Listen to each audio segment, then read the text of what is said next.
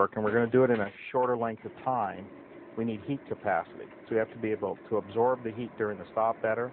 We have to be able to release it faster so we're able to do more work at the next corner. This immediately endeared me to Steve Ruiz and the whole StopTech Brake Corporation.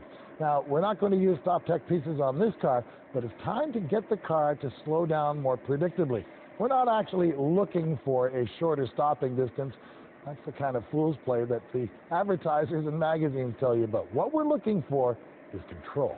Braking is really, you know, either the most or the second most important thing you're going to do. You're going to get up to speed, and then hopefully you're going to get back down from speed. And how, where, and how many times you do that is the goal of the brake system. Actually, braking componentry is expensive only if it's the wrong componentry. Braking componentry, when done right, can last the lifetime of the vehicle. It'll certainly last, the right brakes and the right application will last much longer than something that wasn't designed for that vehicle. We put 340 horsepower in this vehicle. We're going to go through an awful lot of 10 and a half inch rotors. Probably two or three every day we come out here. Every caliper that we put on the vehicle, and we use the best Alcon monoblock calipers that are available for a street car. Those calipers are designed with bore sizes, piston sizes that exactly match what the ABS pump is expecting to see.